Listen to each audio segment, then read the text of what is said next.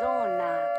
Un nucleu va exploda în câteva minute.